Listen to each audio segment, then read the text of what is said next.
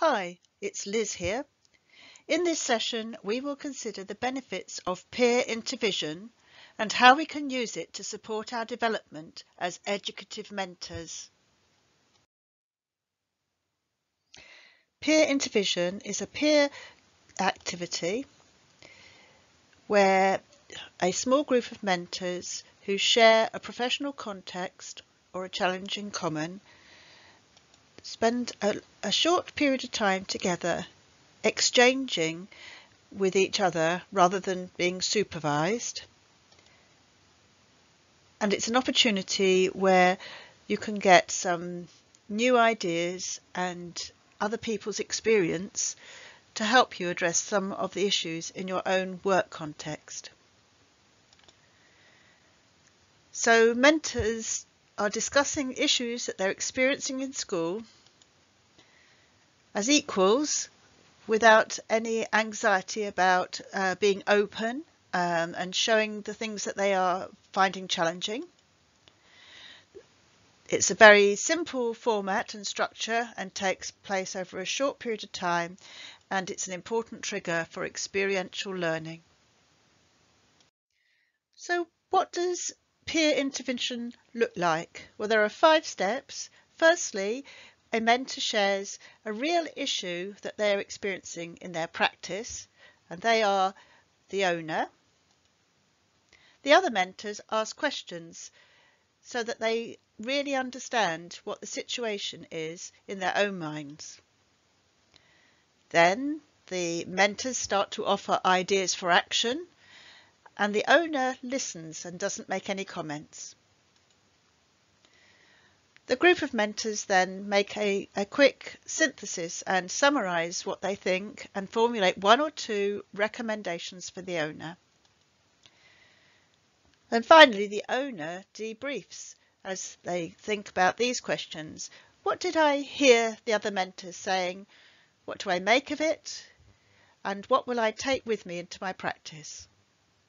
In the end, the owner might not take any of those ideas into their practice, there might be something that was said that triggers a different line of thought for them.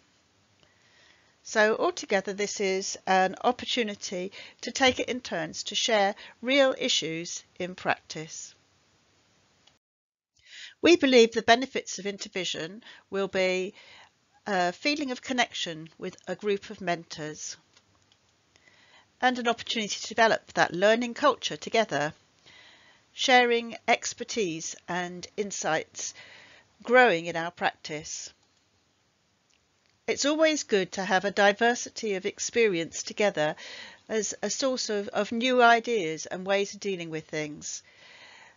And with the challenge of developing an educative mentoring approach, it will help to have the solidarity and uh, encouragement of a, a group of others who are going through that same process.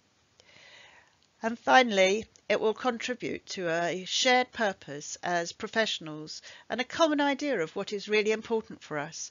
So we are looking forward to hearing back from you how you find using intervision as an approach for your own professional development as a mentor. Well, there are two possible ways that you could join a peer intervision group apart from actually creating one yourself using these guidelines. Uh, the first would be to ask your professional mentor if they can organise this opportunity for you with the other mentors who are in your school or group of schools um, because it's important that um, there isn't a sense of hierarchy in the group. Um, it may be that the, you ask the professional mentor just to uh, facilitate the process on the first time and then not to come at all. Um, a second way is that you can contact me uh, to ask to join an online intervision group and when I have um, uh, a small group of mentors that have contacted me, then I will um, get the process started for them. So just to summarise, what you need to do if you join an intervision group is, before you come, identify a challenge to share. When you're in the group, decide how long will be dedicated to each person.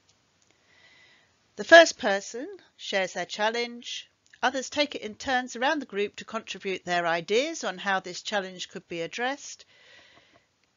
You have a chance for everyone to contribute and then you decide one or two recommendations for person A. And person A has a chance to summarise what they've heard and what they're going to take away. After everyone has shared their challenge, please review how you find the intervision session and what you've learnt from the process and uh, we welcome your feedback. So thank you for uh, listening to this little introduction about peer intervision. If you'd like to know a little bit more, there's a useful website and the link is here.